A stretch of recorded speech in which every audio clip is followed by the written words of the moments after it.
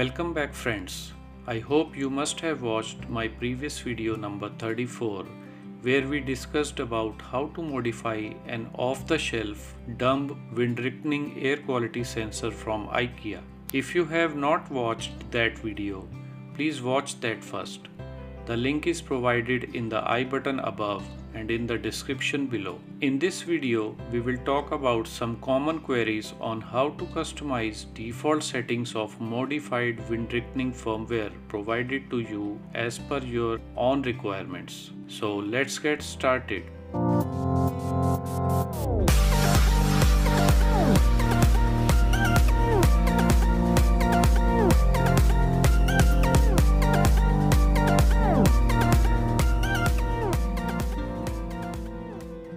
I received many queries from all of you through different mediums and out of them I found 5 basic queries that most of you wanted to know about. So today I will try to address all of those queries. To customize the default settings, we need to edit inbuilt Tasmota rules that are driving the whole system. Before proceeding towards answering the queries, I would like you to back up two of the three pre-written rule sets of this sensor. For that, click console, type rule 2 without spaces and press enter. In the last line, you will find the rule 2 commands. Scroll to a little right and copy the contents of this rule from on var1 hash state till and on. And paste it in the notepad. Now type rule 3 and again copy the contents of rule 3 from on analog till the last and on and paste these two in the notepad. Now prefix both rule statements with their corresponding rule numbers. Okay, so this was done just to back up the original rule sets. Now in case if you misedit the rules, you will still be able to restore back to the original rule sets. Now copy all these rules and paste them below to make a copy of them for editing. Let's now move on to the queries. The first and the most asked query was how to calibrate LED colors as per your area's air quality. So to do this, you need to edit rule 2 only. Let us take an example to understand it better. Suppose you want to turn on green LED if PM2.5 sensor value is less than or equals 100. Orange LED if the reading is greater than 100 but less than or equals 200.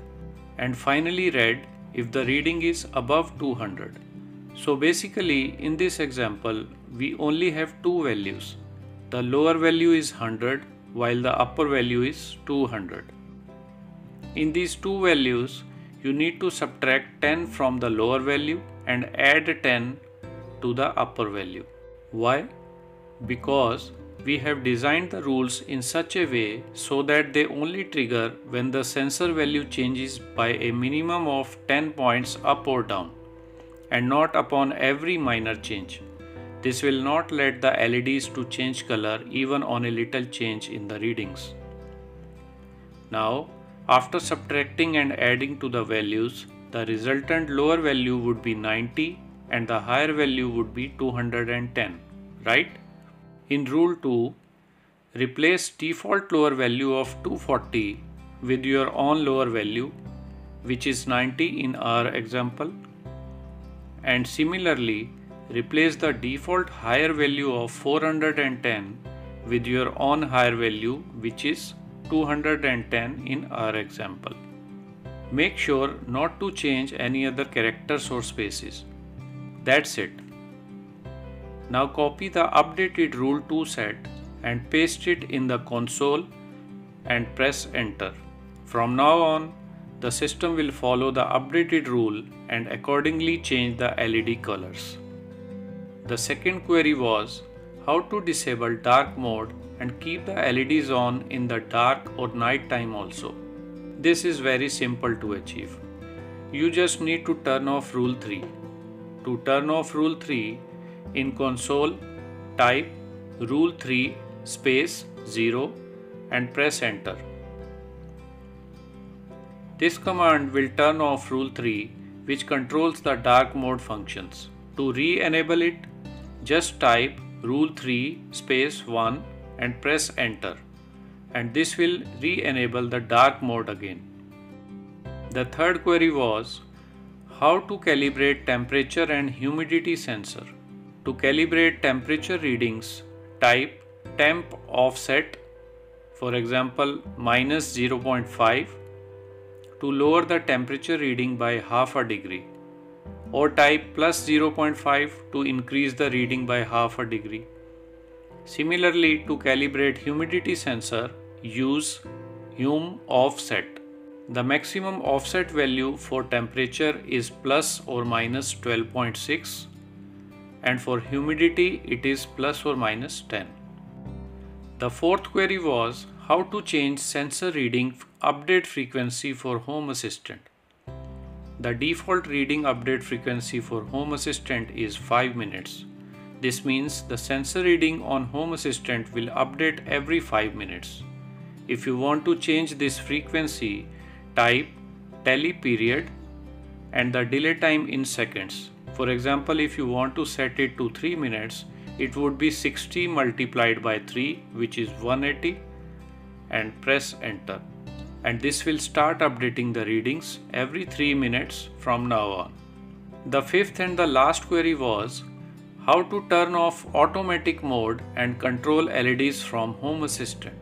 To achieve this, simply turn off both Rule 2 and Rule 3.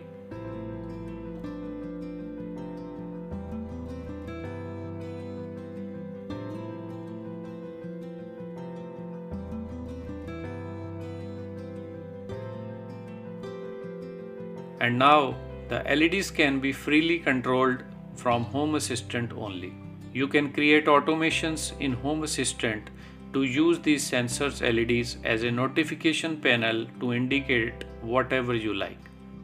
So these were the most common queries received from you guys. Hope I was able to address all of them in a simple and easy way. If you still have any query, do comment below and I will respond to it at the earliest. You can also join our Telegram channel VCC Ground to discuss things in detail.